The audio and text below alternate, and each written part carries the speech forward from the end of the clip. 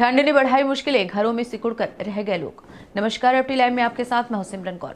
शीतलहर का प्रकोप जारी है लोग घरों में दुबक कर रह रहे हैं। आपको बता दें कि इन दिनों ठंड ने लोगों की मुश्किलों को बढ़ा दिया है। कोहरे के कारण यातायात में भी लोगों को काफ़ी दिक्कत का सामना करना पड़ रहा है। गाड़ियाँ सड़क पर रेंगते हुए दिख रही हैं।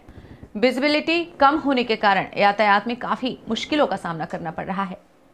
जी ड्राइवर साहब बताइए क्या समस्या आ रही है? सर समस्या ये है कि इतने ज़्यादा कोहरा पड़ रहा है कोहरा पड़ने के कारण हम लोग को गाड़ी जाने में बड़ी दिक्कत हो रही है। और दिक्कत के साथ साथ सवारियाँ भी नहीं मिलती है। इसकी वजह से हम लोग को जीना बड़ा दूभर हो गया है। और इतना कोहरा होने की वजह से हम लोग को गाड़ी चलाने में बड़ी दिक्कत हो रही है। यूएफटी लाइव के लिए पवन साहू की रिपोर्ट।